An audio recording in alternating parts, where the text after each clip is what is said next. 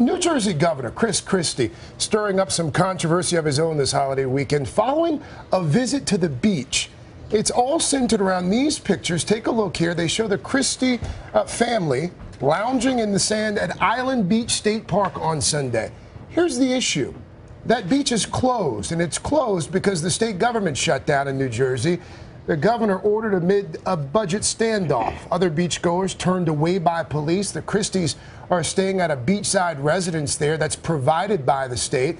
And the governor is using a state helicopter to travel back and forth between Island State Beach Park and his office in Trenton.